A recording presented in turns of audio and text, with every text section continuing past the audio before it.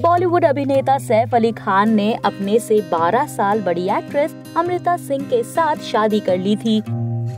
एक खुशहाल रिश्ता होने के बावजूद सालों बाद दोनों एक दूसरे से अलग हो गए। कहा जाता है कि सैफ का दिल उस वक्त मॉडल रोजी पर आ गया था। लेकिन आपको अगर ऐसा लगता है कि अमृता से तलाक लेने के बाद सैफ की ज़िंदगी खुशहाल थी तो ऐसा नहीं है।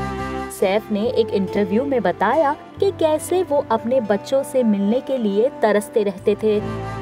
सैफ को अपने बेटे इब्राहिम और बेटी सारा अली खान से मिलने की अनुमति नहीं थी।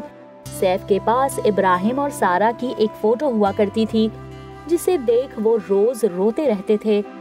उनके मिलने की चाहत में वो अमृता सिंह से मिन्नत किया करते थे कि उन्हें उनके बच्चों से मिलने दिया जाए। लेकिन कहा जाता है कि अमृता के घर वाले इसके खिलाफ थे। वैसे डिवोर्स के बाद अमृता ने सैफ से पाँच करोड़ रुपए की मांग भी की थी, जिसे सैफ ने टुकड़ों में चुकाया था।